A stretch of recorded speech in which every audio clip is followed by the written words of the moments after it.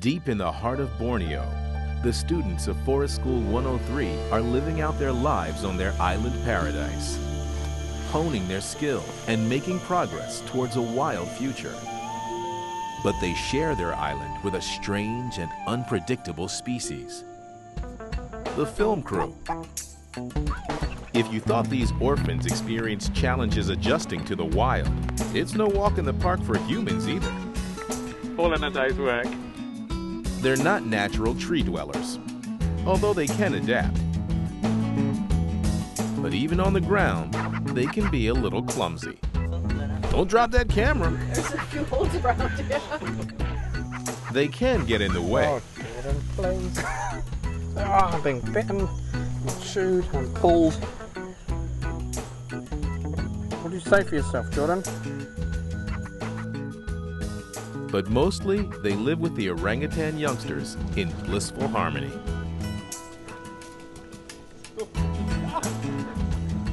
How about a game of catch with producer Chris?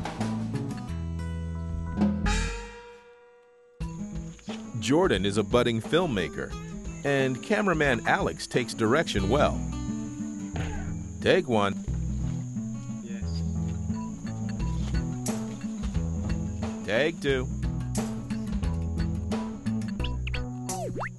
Take three. Cut. That's a wrap. They are the most famous orangutans on Earth, but some just don't like the paparazzi.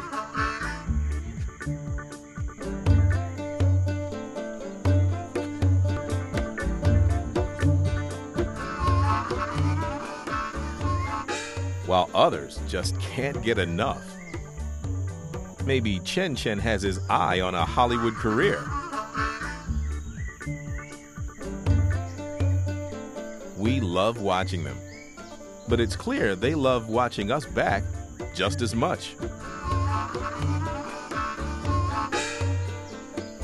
Ultimately, this is their island. And when King Hamlet says, Give me a bite of the camera, he means it. And that's a wrap.